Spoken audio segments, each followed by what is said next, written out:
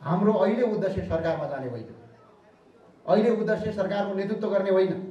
अहिले उद्देश्य सरकारको मन्त्र मन्त्री पद खाने होइन। अबको उद्देश्य भनेको पाँच वर्ष पछाडि पार्टीलाई कहाँ पुर्याउने त्यो उद्देश्यका साथ हामी खटिन आवश्यक छ। पाँच सय एकानब्बे भोट भएको ठाउँमा जुम्ला गएको। म आफै जुम्ला गएको अध्यक्षज्यूले भनेरै जुम्ला गएको जहाँ तपाईँको जित्न सक्ने सम्भावना शून्य बराबर थियो किनभने पार्टी बनाउनुपर्छ भनेर गएको। पार्टीलाई अब रिकन्साइल गर्न आवश्यक छ। पार्टीलाई रेक्टिफाई इन्ट्री भन्छ एकाउन्टिङमा गयो भने। किनभने अब जोसका साथ जो जसले हामीले जित्यौँ त्यो ठुलो कुरा होइन।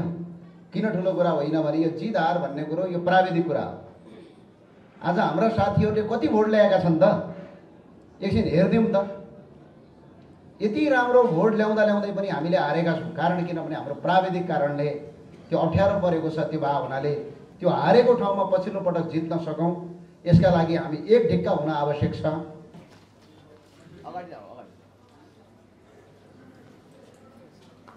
जय होस् ल।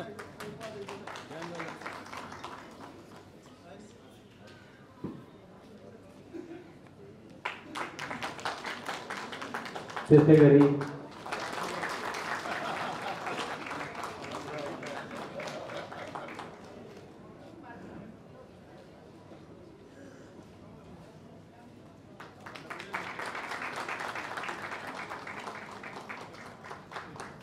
म सम्पूर्ण महानदीज्यूहरूको नाम उच्चारण गर्नेछु।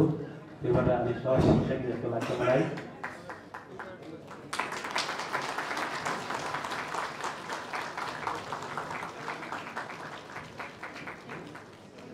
धेरै धेरै धन्यवाद। त्यस्तै गरी पार्टीका आजको यस कार्यक्रमका सभापति एवं पार्टीका सदस्य अध्यक्ष माननीय राजेन्द्र लिङ्गनज्यू र कार्य पार्टीका वरिष्ठ नेताहरू निवर्तमान अध्यक्षज्यू र माननीय सदस्य साथीहरू र पार्टीबाट पार्टीका लागि यहाँसम्म पाल्नुभएका सम्पूर्ण पदाधिकारी प्रदेश अध्यक्ष र सबैलाई स्वीकार जय राष्ट्रवाद नमस्कार। म ज्ञानेन्द्र साई। मुख्यतया आज मैले भन्न खोजेको कुरा के हो भने पार्टीलाई अब रिकन्साइल गर्न आवश्यक छ। पार्टीलाई रेक्टिफाई इन्ट्री भन्छ एकाउन्टिङमा गयो भने। किनभने अब जोसका साथ जो जसले हामीले जित्यौँ त्यो ठुलो कुरा होइन। किन ठुलो कुरा होइन भने यो जित हार भन्ने कुरो यो प्राविधिक कुरा हो। आज हाम्रा साथीहरूले कति भोट ल्याएका छन् त? एकछिन हेरिदिउँ त। यति राम्रो भोट ल्याउँदा ल्याउँदै पनि हामीले हारेका छौँ। कारण किनभने हाम्रो प्राविधिक कारणले त्यो अप्ठ्यारो परेको छ त्यो भाव हुनाले जित्नुभन्दा पनि जसरी अहिले हामीले जहाँ हारेका छौँ त्यो हारेको ठाउँमा पछिल्लो पटक जित्न सकौँ। यसका लागि हामी एक ढिक्का हुन आवश्यक छ। र यसका लागि जनशक्तिको परिचालन गर्न आवश्यक छ। अहिले हामीले बयालिस सिट ल्यायौँ तर हामीले यति सोचेका थिएनौँ। हामीले धेरै सोचेका थियौँ। किनभने क मिनिमम हामीले पन्ध्र सोह्र सिट त हामीले प्रत्यक्ष जित्छौँ। समानुपातिक पनि त्यही हाराहारीमा आउँछ। र पार्टीलाई सके दोस्रो नसके तेस्रो स्थानमा पुर्याउँछु भन्ने लक्ष्य र उद्देश्य थियो। त्यही उद्देश्यका साथ पाँच सय एकानब्बे भोट भएको ठाउँमा जुम्ला गएको।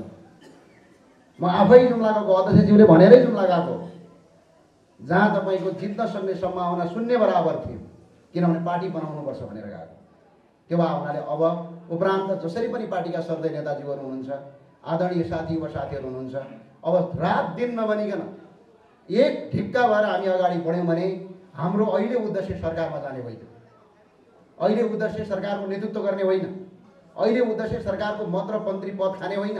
अबको उद्देश्य भनेको पाँच वर्ष पछाडि पार्टीलाई कहाँ पुर्याउने त्यो उद्देश्यका साथ हामी खटिन आवश्यक छ धन्यवाद सम्पूर्ण साथीहरूले साथ सहयोग र आफ्नो आफ्नो क्षेत्रबाट हामीहरू सबैलाई जिताउनु भयो अब यो त्यतिले मात्र पुग्दैन भोलिका दिनमा पनि हामीहरू एक ढिक्का भइकन पार्टी हक र हितको लागि जुन विचार र मूल्य र मान्यता लिएर जनताको अगाडि हामीले मत मागेको छ त्यसको लागि तपाईँहरूबाट हामीले ठुलो आशा राखेको छु। बोलेर भन्दा पनि गरेर देखाउने समय आएको छ।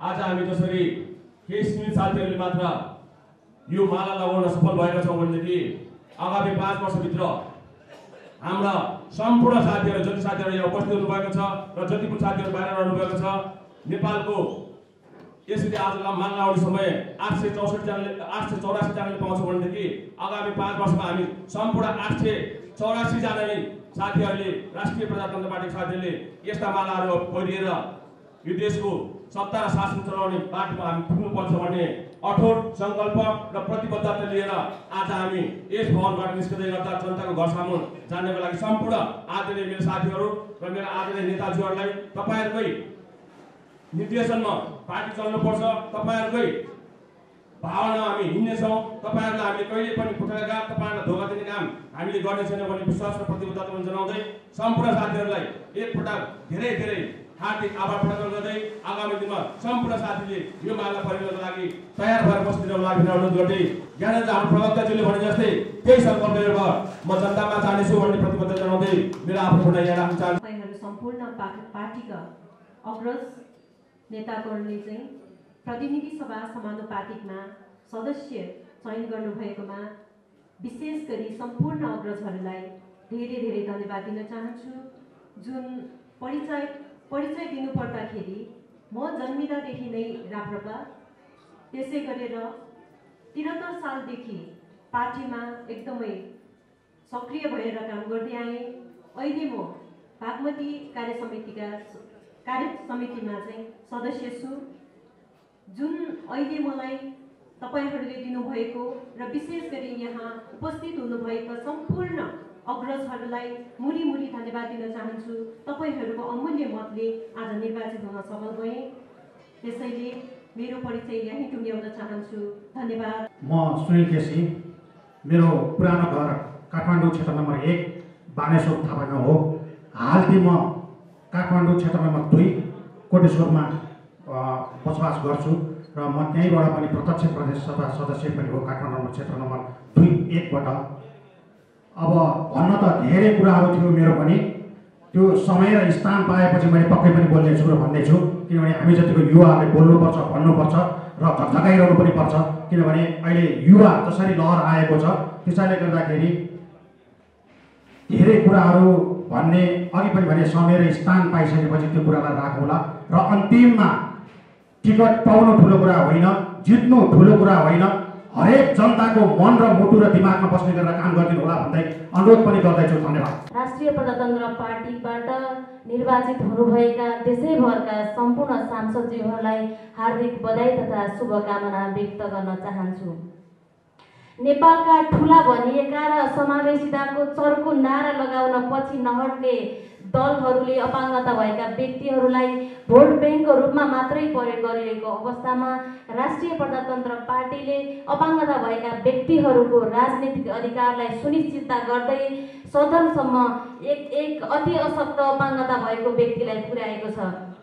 यसप्रति आम नेपालीहरूको चासो बढेको छ। राष्ट्रिय प्रजातन्त्र पार्टीप्रति अझ बढी सम्मान बढेको महसुस भएको छ। राष्ट्रिय प्रजातन्त्र पार्टीले मलाई विश्वास गरेर सम्मान गरेर बागमती प्रदेश सभा सदस्यमा मनोनित गरेको छ। यसप्रति म जीवनभर कृतज्ञ रहनेछु पार्टीले मलाई जुन विश्वास गरेर नेतृत्व दिनुभएको छ त्यो भूमिका मैले आफ्नो ठाउँबाट पूर्ण रूपमा निर्वाह गर्नेछु भनेर पनि यहीँबाट प्रतिबद्धता जनाउन चाहन्छु। हस्त धेरै धेरै धन्यवाद। नमस्कार। डाक्टर श्री धवल शमशेर राणाज्यू माननीय श्री भुवन पाठकज्यू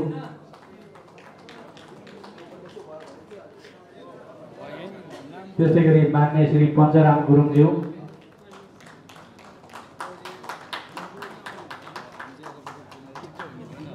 त्यस्तै गरी माननीय श्री ज्ञानेन्द्र साईज्यू त्यस्तै गरी मान्य श्री दिपक बहादुर सिंहज्यू त्यस्तै गरी मान्य श्री गीता बस्नेतज्यू श्री गीता बस्नेतज्यू त्यस्तै गरी मान्य श्री बिना लामाज्यू त्यस्तै गरी मान्य श्री बिना जयसवालज्यू त्यस्तै गरी माननीय श्री अनिसा नेपालीज्यू त्यस्तै गरी मान्य श्री भक्ति प्रसाद सिटौलाज्यू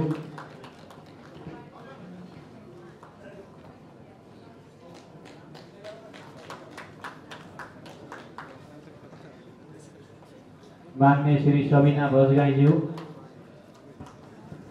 मान्य श्री सुनिल केसीज्यू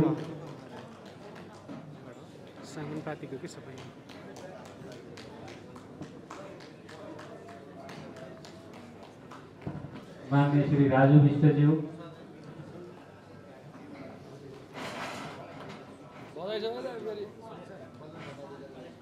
माननीय श्री राजेन्द्र प्रजापतिज्यू माननीय श्री उद्धव थापाज्यू माननीय श्री नुरज बज्राचार्यज्यू माननीय श्री डम्बर तामाङज्यू मान्य श्री गिरबहादुर तामाङज्यू हामीमा हुनुहुन्न आज मान्य श्री आशिष चौधरीज्यू मान्य श्री जानकी प्रसाद यादवज्यू मान्य श्री प्रेमराज थामसाङज्यू मान्य श्री निमसरी राजवंशीज्यू मान्य श्री अमरबहादुर विष्टज्यू मान्य श्री गोपाल बहादुर विश्वकर्माज्यू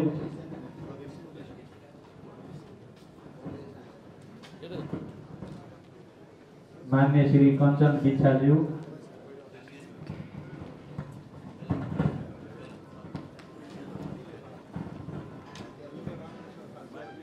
मान्य श्री कुमारी तामाङज्यू।